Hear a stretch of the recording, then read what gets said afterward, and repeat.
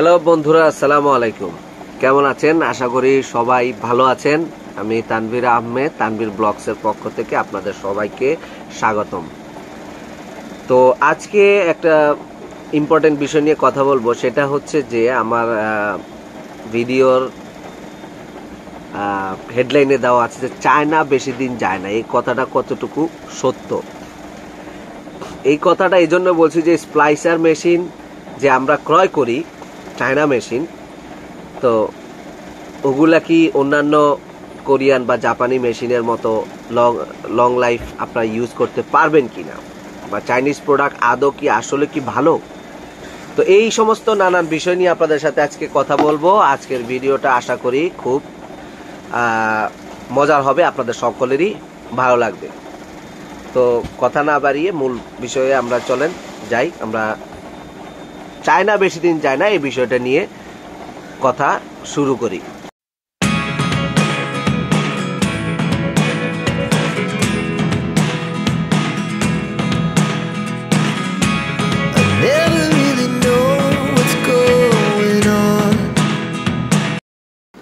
তো বন্ধুরা আমি এখন একটি চাইনিজ মেশিন নিয়ে আপনাদেরকে এটা এক্সপ্লেন করব যে চায়না বেশি দিন যায় না এই কথাটা কতটুকু যুক্তিসঙ্গত।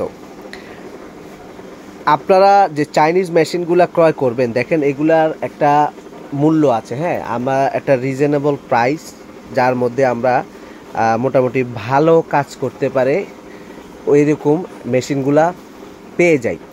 কিন্তু চাইনিজ মেশিনগুলো আপনারা সব সময় একটু সফট হ্যান্ডে ইউজ করতে হবে। এটার মেন যে কারণটা হচ্ছে, যদি সহজভাবে বলি যে অল্প তেলে মচমচা ভাজা জিনিসটা মানে আপনি পেমেন্ট অল্প করতেছেন, কিন্তু আপনি যদি ওই এক্সপেন্সিভ প্রোডাক্টের মতো যদি রাফ অ্যান্ড টাফ ইউজ করেন সেই ক্ষেত্রে কিন্তু এই জিনিসটা বেশি দিন টিকবে না। কিন্তু আপনার কিছু ইউজার ম্যানুয়াল আপনি যদি একটু সফট হ্যান্ডে ইউজ করেন বা একটু সচেতন হয়ে ব্যবহার করেন, আপনি দুই লাখ, আড়াই লাখ টাকা দিয়ে যে মেশিনটা ক্রয় করবেন, ঠিক মেশিনটা ক্রয় করার পর ওইটা যতদিন আপনাকে যেভাবে সাপোর্টটা দিবে দেখা গেছে এই মেশিনটা দিয়েও আপনি আশানুরূপভাবে ওই অতদিনই বা তার থেকেও বেশি আপনি সাপোর্ট পেয়ে যাবেন। এখানে যে বিষয়টা হচ্ছে, ওইটা ওই দামি মেশিনগুলো যেভাবে রাফ অ্যান্ড টাফ ইউজ করা যায়, এই সকল মেশিনগুলো কি আপনি সেভাবে রাফ অ্যান্ড টাফ ইউজ করতে পারবেন না। এটা হচ্ছে প্রথম, একদম প্রথম এবং মেইন শর্ত। আপনি এই মেশিনগুলোকে একটু সফট হ্যান্ডে নিজের জিনিস, মন, নিজের জিনিস, যে কেউ একটু যত্নের সহকারে ব্যবহার করে সো আপনারাও সেভাবে ব্যবহার করলে এই মেশিনগুলো অনেক দিন ভালোভাবে সার্ভিস দিবে। তো মেশিনের যেই সমস্যাগুলো তৈরি হয়, তা মূলত এই সেন্ট্রাল থেকেই এর সমস্যাগুলো সৃষ্টি হয় বা আমরা তৈরি করি। যেমন, এই যে এর ভিতরে আমরা কি করি? অনেক সময় ধুলা, ময়লা বা কোনো কিছু বালুকণা বা কোর্টোর যদি কোনো কিছু যায়, সেক্ষেত্রে আমরা কি করি আমরা সফট ব্রাশ কিনি রং তুলির ব্রাশ ক্রয় করি। ব্রাশ করা করে কি করি, নিজেরা নিজেরা এখানে একটু পরিষ্কার করার জন্য ব্রাশ দিয়ে এই যে সেন্টারে আমরা যখন ঘষা দেই, তখন এই ভিতরে যে ক্যামেরার লেন্সগুলো আছে দেখা যাচ্ছে কি না, এই ভিতরে দুইটা ক্যামেরার লেন্স আছে হ্যাঁ? তো এই লেন্সের মধ্যে কি হয়, ওই ব্রাশ দিয়ে যখন আমরা এই হালকাভাবে প্রতিদিন ঘষাঘষি করি, তখন দেখা গেছে লেন্সের মধ্যে স্ক্র্যাচ পড়ে যায়। স্ক্র্যাচ পড়ার কারণে কি হয়, আপনি যদি চোখে দেখতে না পান, তাহলে আপনি কীভাবে হাঁটবেন? তো স্ক্র্যাচ পড়ার কারণে তখন দেখা যায় কি মেশিন ঠিকমতো দেখতে পারে না অ্যালাইনমেন্ট বলেন বা জোড়ার যেই টান দিয়ে ওই এটাকে সেট করা, এগুলো সব কিছু করে, কিন্তু যখন ঠিকমতো দেখতে না পারে, তখন সে অ্যাডজাস্ট করে জোড়াটা ঠিকমতো দিতে পারে না। যার জন্য কি হয়, আপনি ধরেন মেশিন যেদিন ক্রয় করছেন, দোকান থেকে জোড়া দিয়ে আনলেন, খুব ভালো পারফরমেন্স এক দুই মাস খুব ভালো পারফরমেন্স কিন্তু পাঁচ ছয় মাস যাওয়ার পরে আপনার মেশিনে আবার সেই পারফরমেন্সটা থাকে না বা আপনার ডিবি লসের পরিমাণটা বেড়ে যায়। এই- এই ডিবি লস বেড়ে যাওয়ারও কিন্তু আরেকটা খুব কমন এবং বলা যায় যে মেইন কারণও এই ক্যামেরার লেন্সে স্ক্র্যাচ পড়াটাও একটা ইস্যু হয়ে দাঁড়ায়। তারপরে হচ্ছে আপনারা যেমন এই যে এগুলার যে ক্লিপগুলো থাকে যে কোনো চাইনিজ মেশিনের ক্লিপগুলো থাকে, এগুলো একটু যত্নের সাথে আপনাদের ব্যবহার করতে হবে। এগুলো দেখা গেছে অন্যান্য মেটাল বডি হইলেও ঠাস ঠাস করে যদি আপনারা ফালান, সেক্ষেত্রে দেখা গেছে এগুলার ম্যাগনেটটা ভেঙে যায়। তারপরে এখানে যে সেন্ট্রালটা আছে, এটা সবসময় একটু হালকা আপনারা ক্লিন করে রাখবেন। তারপরে হচ্ছে যে আপনার এই মেশিনের যে মাঝখানে, এখানে আপনার কোনোভাবে ঘাম, পানি আপনারা সময় কাজ করতে গিয়ে দেখা যায় আপনাদের ঘাম পড়ে যায়। তো ঘাম পড়লে কি হয়, অনেক সময় যদি এই ভিতরে পানি চলে যায়, সেক্ষেত্রে এটার মধ্যে ইন্টারনাল বার্ন হয়ে যায় বা শর্ট সার্কিটের কারণে বার্ন হয়ে যায়, নানান সমস্যা তৈরি হয়। তারপরে আবার দেখা গেছে, আমরা যেটা দেখি যে এই যে, এই ক্লেবারের এই যে, এই মুভিং সেটটা এটা অনেক সময় ভাঙিয়ে ফেলেন আপনারা। অথবা কি করেন? এই ম্যাগনেটটা যখন ভাঙা যায় বা ই হয়ে আপনারা কোনো রকম জোড়া তালি দিয়ে এটা চালানোর চেষ্টা করেন। এতে করে কি হয়? অ্যালাইনমেন্ট ব্রেক হয়, যার জন্য যার জন্য ঠিকমতো জোড়া নিতে পারে না। তো এর যে এই মিডল পার্টটা এই বাক্সটার ভিতরের এইটার ভিতরের যে মেইন পার্ট এই ভিতরের এই অংশগুলা, এটা আপনারা সবসময় যেই কোনো কোম্পানি থেকে ক্রয় করবেন তারা কম বেশি আপনাকে একটা সার্ভিস টাইম দিবে, অথবা দেখ বা না দেখ, আপনি ওই সকল কোম্পানিতে অভিজ্ঞ টেকনিশিয়ান দ্বারা আপনারা এটাকে সার্ভিস করিয়ে নেবেন।